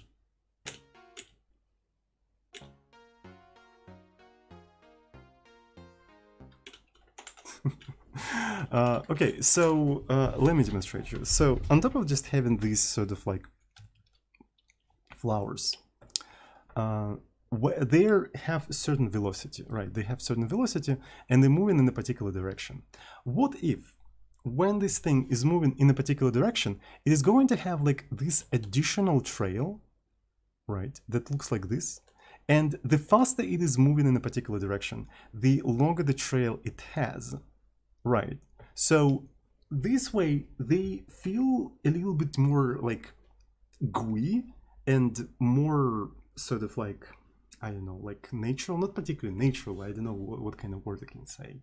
Uh, organic, that's the word I'm looking for. They look sort of like organic. They're also glowing and they have this sort of trail. And uh, I think it will provide enough of interesting things on the screen to look at, to to be stimulating, right? So because with these kind of things, you want to be interesting and stimulating, but not overwhelming, right? So I'm trying to come up with enough interesting things on the screen to uh, sort of retain the attention, but not overwhelm. Um, and I think this last touch uh, would be perfect for this kind of visualization, right? So the, if they're standing, they don't really have any trail, but then when they're quickly moving up or following down, they should have some sort of a trail that indicates like where they're coming from and stuff like that. So the question is, how can we implement something like that? That's a very interesting question. We can basically implement it in a sense of the particle system, right? On each frame, we can take a snapshot of the uh, of this thing uh, and always render a particle in that place and slowly fade it out. That way they will create kind of like trail, but the, the trail is going to consist of the shadows of itself, of snapshots, which I don't really particularly like. I want it to be like solid thing, right? Because usually these kind of trails end up being looking like this, right? They look like this. And it's just like it doesn't look particularly good. It looks for look for certain situations, but what I'm going for is I think animators have a term for that. I'm going for smear frames. Do you know what is a smear frame? This is already the second animation concept that I'm bringing up. The first one is easing functions, right? So, and the second one is a smear frames. So essentially we're doing like a literal like animation in here. so smear frames, uh, that's what I'm going for. I'm going for smear frames. And it's sort of like an intermediate, yeah, these are the intermediate frames that look weird so essentially you have an object in position A and a position B, and you need to animate, not really animate, but convey a quick rapid motion from A and B within few frames, like one, two frames. So if you just like move object as snapshots, it's not gonna convey motion really well. So what the animators came up with is a smear frame. They stretch and smear the object within few frames, creating an illusion of rapid motion from A and B. And this is how they look like, right? So sometimes if you pose some cartoons, they, they look weird like that. And that's what they are. So these kind of things, th these kind of things have a name. They're called smear frames. And this is what I'm going for, right? So I want to have smear frames rather than an actual trail. So that would have been perfect, I think. That would have been perfect. So, and I think it is super easy to create such smear frames. Uh, essentially what we can do, we can take half of the circle, right? We can take half of the circle as a texture, right? And just stretch the hell out of it. And that will create a smear frame for, for that specific circle. And since we're rendering the circles already, we can use the same shader as we use for this specific circle. Those, yeah, those, even the, the trail itself is going to have some sort of like a glow. Right, so, I think that's, that's a particularly good idea, right. Um, so, but the question is, how do we determine how much we want to stretch this entire thing? That's another interesting question. Um, I have the following idea. So essentially, we can use the same trick as we used to smooth out uh, the immediate uh, snapshots of the frequencies, right? So essentially, on each frame, we have immediate snapshots of the frequencies. And we don't really display them. We don't really display them. We use them to compute velocities for the current frequencies that we're uh, sort of keeping track of and we're updating it according to that velocity, like moving towards these frequencies, but not setting them to those frequencies. Um, if we create a third second degree smoothing, we're gonna basically have an additional point that follows the current frequency. So the frequency itself just follows the immediate frequency, but we create additional thing that follows that following frequency, it will create an additional trail. And that could be the indication where the smear, smear ends.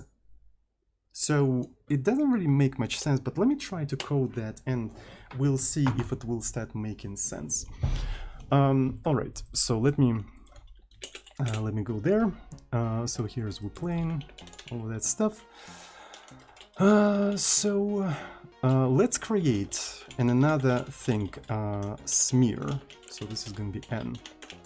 And where do we compute smoothing? Right, so here's the smoothness.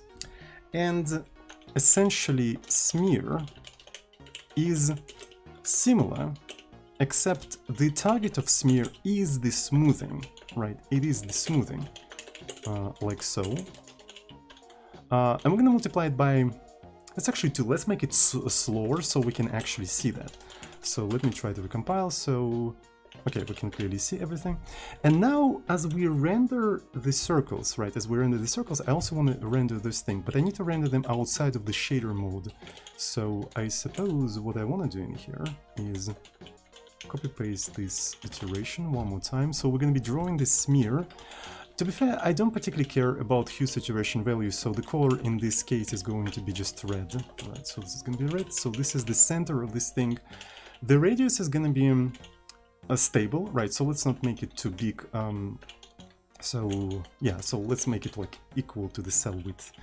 Uh, and the position, um, so essentially I'm just want to render the, the circle, right, so that's what I want. Draw uh, circle. I think it's circle V. There we go. So this to be center, uh, radius, and color. So that should be enough to see those trails. Yeah, there we go. So we can make their uh, their size a little bit smaller. So let's actually make them half of the cell width because I think they're too big. Uh, right. Um, maybe 75, and I would like to maybe, yeah. Yeah, as you can see, they basically say where the smear frame has to end. So if we basically render the line between the main uh, glow thingy and the red one, it's gonna be clear, the, the actual smear frame is gonna become like literally visible essentially. Um, so they're actually moving very slow, but we can control that. We can control them in a uh, in the same way as we control smoothness, right? So here is the smoothness, uh, and here we can have smearness. and let's say it's gonna be like 5. Uh, so this is gonna be smearness. Uh, and so they're now actually following a little bit faster, right? So they're a little bit snappier, uh, which is good. Uh, maybe too snappy, let's say. All that is controllable, effectively. Yeah. All that is very much controllable. So, uh, and essentially, what it creates, it creates the end point for our smear frame, right? So essentially, that particular point, that particular red point, tells us the end of that smear. It tells us the end of that smear. And knowing the end, so here is the where it begins and here is where it ends, we can just construct a rectangle and render the structure of half of a circle. Right, and depending on like where this point is located, we're gonna just like render it differently, but we'll have to uh, swap the texture all the time. Alright, but that's not that big of a deal. So th that's the simplest trick I could, could, come up with, right? So I spent some time actually figuring out how to do this kind of thing, and that's the best thing I came up with. Uh, I think it's kind of good. Uh, right, so, and yeah, feel free to use that trick whenever you need to. Uh, right, and smear frames are actually very powerful technique, let me tell you. That's why the animators always use them all the time. Uh, so, and by the way, smear frames is one of the reasons why like 64, um, 64, is it 64? 60, 60 FPS uh, like AI interpolators for the videos don't work on cartoons really well, um, right? Because those smear frames were designed for a specific uh, frame rate. And then you're trying to upscale frame rate to 60 FPS and it the AI also tries to upscale the smear frames and it turns usually into mess. Right, it's kind of difficult to upscale smear frames, so which is kind of interesting, right? Because like FPS usually in in the animations, FPS usually not the limitations, but also it, it's a limitation but it's a limitation that is integrated into the animation intent. Right, by changing the FPS, you actually have to animate it differently. The intent of the animation becomes different. So this is one of the reasons why some of the new 3D cartoons actually are animated at lower frame rate, because with a lower frame rate it's easier to create a specific intent. If that makes any sense, I'm not sure if it does, I'm not a professional animator, but I know about easing functions and uh, smear frames, right? So, which maybe makes me kind of like an animator. And also, you see animated things on the screen, so maybe uh, I don't know, like I'm, I'm, I'm, I don't know what I'm talking about. So anyway, um, let's try to see what we can do. Let's try to connect the uh, actual point, um, you know, the point of the end with the center of the glowing thingy. Let's go ahead and do that. So uh, we can call it B, which is basically begin, uh, right? And this is TB. So this is the center of the begin. We can call it like a start position. So this is a start position. Um, maybe we can call start. There we go. And we need to have end, which is out smooth. There we go. And let's replace start with end, and we have start and end, believe it or not. Uh, now we can do draw uh, line. Can we do draw line V, start position, end position, um, and the color. Right. So I just want to be able to see those things like uh, these trails. Um, so this is, I suppose, start position. So we use smear as the start. Okay, so that's fine. Okay. We can we can clearly see them. Just a second. So if we pause, right? So this thing. Oh yeah, we're using the Raylib uh, way of rendering circles. That's why there's some artifacts, but it's just like for debugging purposes. So this thing is obviously going up, and that's why this trail is like going down, right? So you can think of it as as a string, right? So it's like a thing on the string, and these things are swinging it. Right, they're sort of swinging it all the time. I think something more dynamic would make sense, something like fly away. Oh yeah, look at that. That looks so nice. I really like that.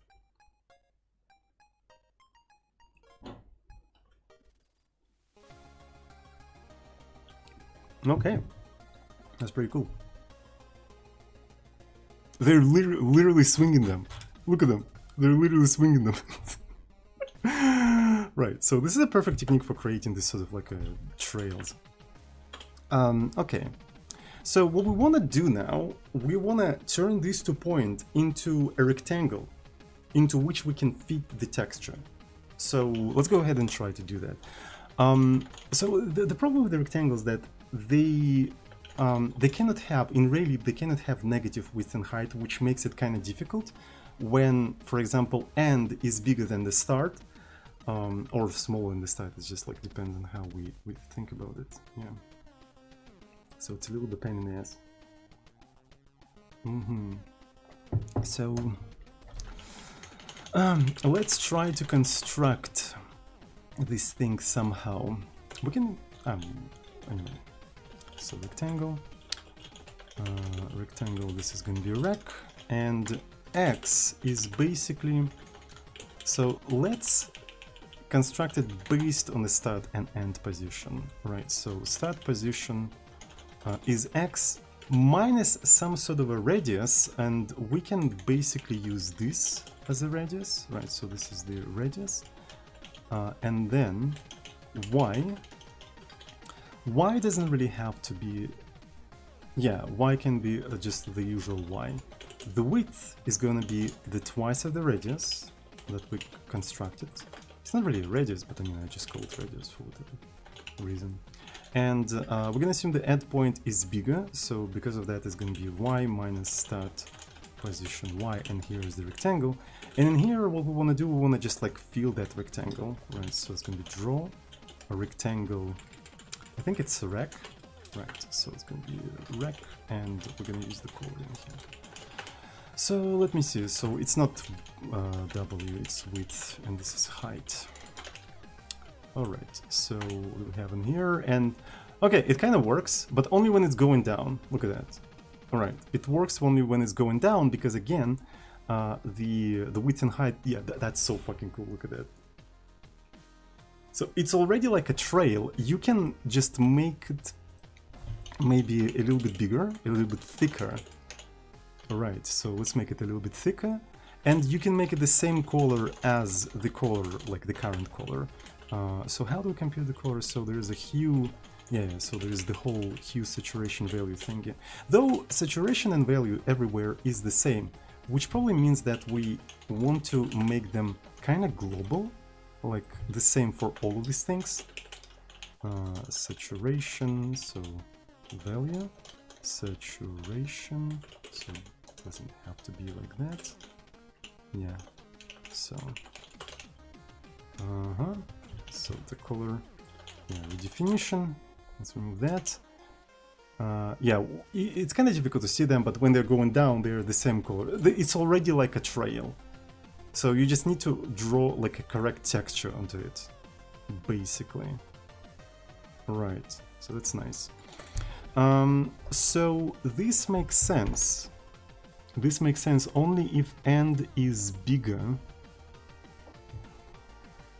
uh, only if end is like end position y is bigger than start position y. So we can try to do it like that.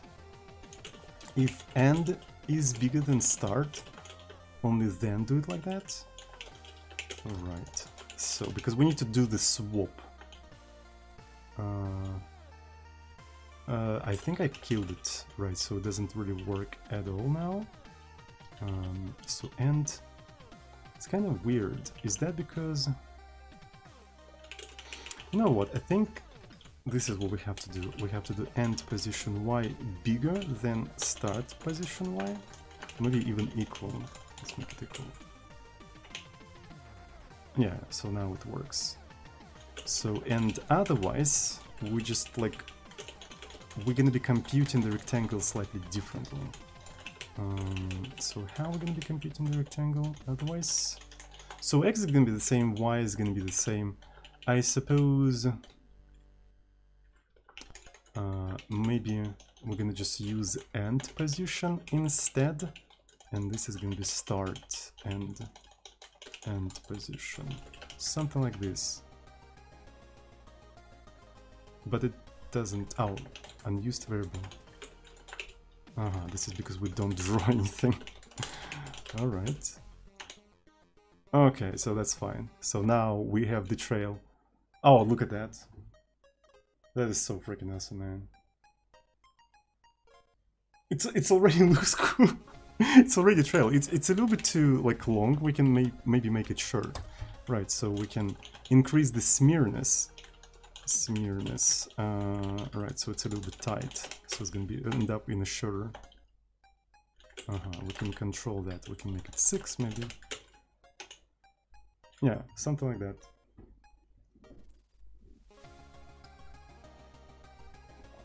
So, and essentially we just need to draw like a half of a circle into it.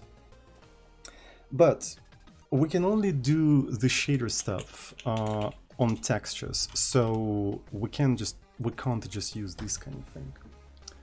Which is a little bit pain in the ass. So as far as I know, there is uh, a special function in Raylib for textures, draw texture, uh, that, yeah, I think it's a draw texture pro. Uh -huh, we can try to use that. Draw Texture Pro. But it accepts too many different things. It accepts the texture, it accepts the source, so you can actually draw the subtexture of the other texture and the destination, and that's the destination that we want to actually supply, right? So this is what we want to be the destination. And to be fair, source, having source is not that bad of an idea. Right, it's needed for basically atlases when you have a single texture that contains several textures, so you can take a subtexture and render a single frame of an animation or something like that. And this is something that we can use because we need to draw only half of a circle. So we can use that uh, ability to just pick the correct smear frames. So that, that should be fine. Uh, but for now, I think I'm gonna set the source to just um, from 0011 because the default texture is 1 by 1 pixel. Uh, so the texture in here is just the texture. The origin, I think origin is basically just like how you're gonna rotate it if you provide the rotation. So since we're not rotating, it doesn't really matter. Uh, Alright, so the origin is just like nothing, whatever. Uh, can't see scheiße in this mist. Uh, so an tint is the, the color that we provide, right? So that's basically what we want. So origin is going to be the same probably for everyone. The source though is going to be different, right? Because we're going to be flipping that thing. Uh, okay, guys. So let's render the texture. Uh, eh, the use of undeclared destination. Oh yeah, because I renamed only one thing. I didn't rename the second thing. Uh-huh. So, yeah, it seems to be working right. So we're just rendering default texture with different stuff. Uh, let me yeah, let me double check. Uh, can I set the color to maybe green? Where's the color? I don't see the color. So just to confirm that everything is correct. Uh-huh. Yeah, yeah, okay, everything is correct, that's for sure. So let's go back. Uh-huh. There we go. So that's pretty cool. So let's slap the shader on top of this entire thing. Right, so if we just enable the shader for this stuff, it should automatically create like a circle-ish uh, trails. I'm not sure how it's gonna look like. I think it's gonna look awful, right? Because it's not half of the circle. So we're gonna use the full circle. Yeah, and the circle is actually very small. Uh, yikes. So, yeah, we need to we need to make this, the inner circle a little bit bigger. You can kind of see it. Just a second, maybe. Yeah, yeah, you, you can kind of see it. So here it is. Here is the small trail. But it just doesn't look good because we intentionally set uh, we intentionally set a small circle in here. And the reason is because we make a very big texture, right? So we can demonstrate what I mean, right, by setting it to red. So yeah, it only makes sense when your entire texture is huge like that only then it makes sense. But the trail itself is not that huge, that's why it's like not applicable unfortunately. So I feel like we need to create like a separate shader specifically for the for the trail. That's what I feel like. Because it, it, it's gonna have different parameters. We could have used the same shader if we knew how to pass these parameters. So we can't use uni uniforms because these are parameters per circle, right? So they're not uniform. each individual circle, each individual bar is going to have its own parameters, so we can't use uniforms for that. We need to have separate attributes. And I could not be bothered figuring out how to do additional custom attributes in Raylib, so... Raylib is kind of cool at the beginning when you only started, but when you go in deeper, deeper and more advanced, you, you kind of feel like it's limiting you. Uh, right, you, you want to have more control. And this is probably why they have RLGL layers, so for you to have more control, and maybe I need to dive into that. But yeah, so I think I'm slowly growing out of Raylib, so at some point I'll need to write my own sort of like engine on top of Raylib, on top of OpenGL, so I can have a full control and make my own renders and stuff like that. So, but I mean, for the beginning, it's it's kind of nice. Uh, okay, so yeah, so let's do a quick dirty hack by literally copy pasting this shader and call it smear fs, right? So this is gonna be smear fs, and uh, let's create smear in here. So, and we have to load it twice when we are initializing, um, right, when we're initializing and when we are reloading. When we are reloading, we should not forget to unload this mirror and load it again. So something like this, but that will require restarting the whole application, which I don't really mind. Not that big of a deal, not that big of a deal. Uh, Alright, so let's restart this entire stuff, and what do we get? Um, so let's start playing some music. Uh, where's Pilot Sun? Okay. Mm -hmm. So circle smear. So now we have a separate shader for the smear, which means that we can now control uh, this entire stuff, right? For instance, we can make the circle itself way bigger. Uh, yep. So, which results in, well, I'm modifying the wrong shader. God damn it. I meant to modify smear. Uh, yeah, so there we go. So it's I can make that thing way bigger. There we go. Now we can at least see it. Right. So now it, it, it's at least visible. So what if what if we make it like half? Oh, look at that. That is so nice. Okay. Look at that beauty. Look at that beauty. That is beautiful. Half is too is too much, I think. Uh, because we need to have some space for the glow, right, don't we?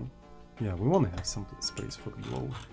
Uh, now, yeah, but this, in this case, glow results in some sort of anti-aliasing, I suppose. Alright, so maybe, maybe three. I mean, anti-aliasing is basically very narrow glow, isn't it? I think, basically, yeah, so but doesn't really look exactly as I want it to look because, um, right, it's not half, it's a full circle, right, it's not particularly helpful. Um, so, and maybe we can make it a little bit more spread. So what if I just like make it linear in here? Uh, I, I can't see if it's good enough. Yeah, I think that's that's fine. For, for the trail, I think linear interpolation looks fine. Yeah, I'm gonna go with that.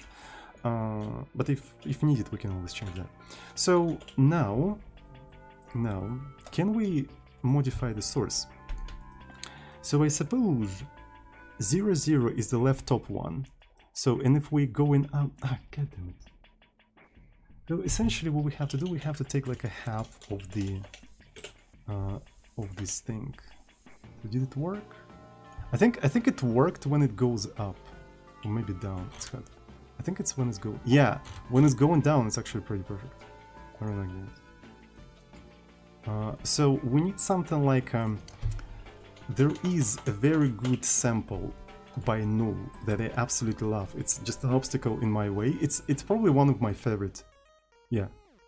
When they're going up and down, it's just like, yeah, just... Yeah, I think when they're going down, it's when... Uh, okay, let me restart. Alright, so when they're going down, they actually kind of perfect. Look at that. This is really good. Alright, so I think I nailed it for going down. So for going up, I need to grab the different part of the circle. So in that sense, um, if this is the top half, what I have to do is just this thing, but lower it down a little bit. Okay, I think I, I think I nailed it. One more time.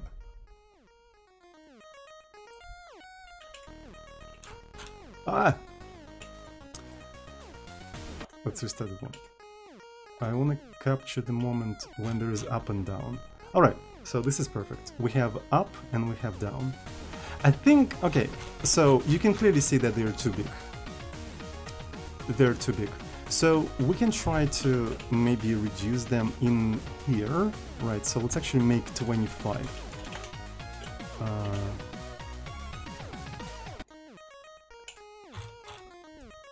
I think this is perfect.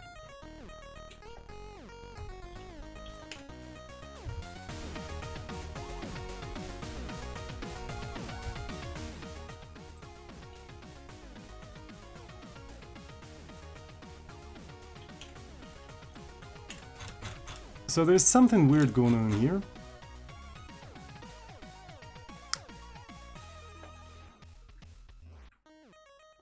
Uh, let me try. I know what is going on. The these things don't scale according to the uh, you know the height. So I think they have to scale according to the end. How are we gonna be scaling them? Uh, we can just like uh, multiply it by a radius in here. Yeah.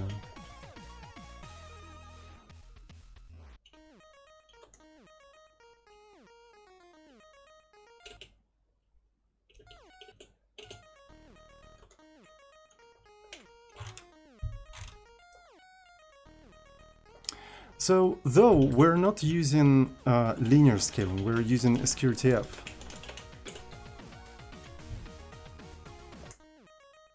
I'm sorry that I'm repeating the same sample over and over again, but it's it's important to capture right everything. Yeah, sometimes I think it's fine. I think they have to be behind uh, the circles, right? To to make sense actually. So let me take the smears uh, and put them behind this thing. So we want to render them um, before the circles, like so. So it looks a little better. One more time. Uh, I think this is perfect.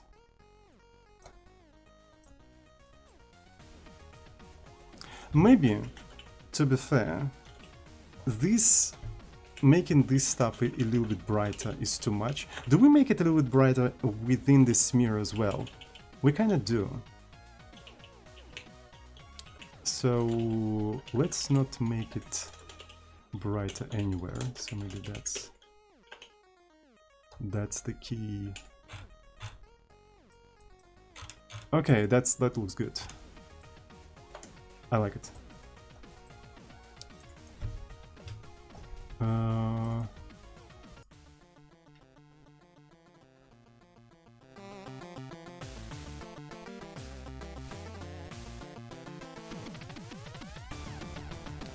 so I think they may be moving too fast, but I mean, in case of the chip tune, they always like close to each other, so it's kind of difficult to see uh, the dynamic stuff.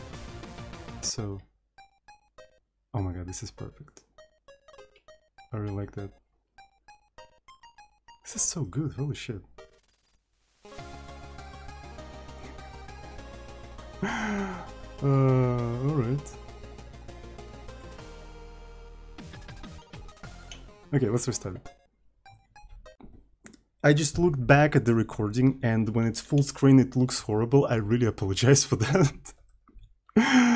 uh, like I was like looking at absolutely pixelated you know mess and being like oh my god it looks so beautiful that was the funniest shit ever actually but yeah uh, so but trust me it looks very good in the full screen so and one of the things we're gonna do in the future actually uh, we're gonna do like a full high resolution high fps rendering via ffmpeg Uh, so then you can maybe like use it to for a YouTube video or something. I don't know. Uh, right, but we're gonna do that already on the next recreational programming session with Azozin. So that's it for today.